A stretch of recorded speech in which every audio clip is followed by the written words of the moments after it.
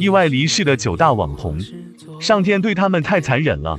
第一位泡泡龙，泡泡龙经常用暴饮暴食来吸引网友的眼球，在他脸上出现黑斑的时候，网友曾多次提醒他注意身体，可他却没能及时重视，最终年仅二十九岁就离开了我们。第二位吴永宁，吴永宁为了给母亲治病，便开始专职从事极限运动工作，经常挑战一些高难度动作，最终意外还是发生了。他在攀爬一栋大楼时不幸坠亡。第三位拉姆，拉姆是个非常爱笑的姑娘，经常在网上发一些生活日常。一次她在家中直播的时候，前夫往她身上浇汽油将其点燃，经过治疗后，拉姆最终不幸身亡。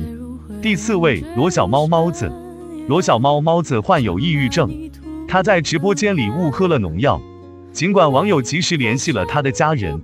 但他还是因抢救无效死亡。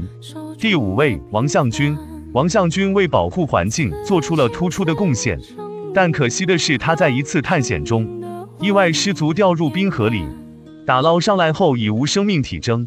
第六位小秋妹，小秋妹是位九八年的塔吊司机，经常在短视频平台上发一些自己工作的段子。然而她在一次攀爬中意外失足。失去了宝贵的生命。第七位孙巧露，作为童星的孙巧露，长大后没有继续在娱乐圈发展，而是选择当了一名网红。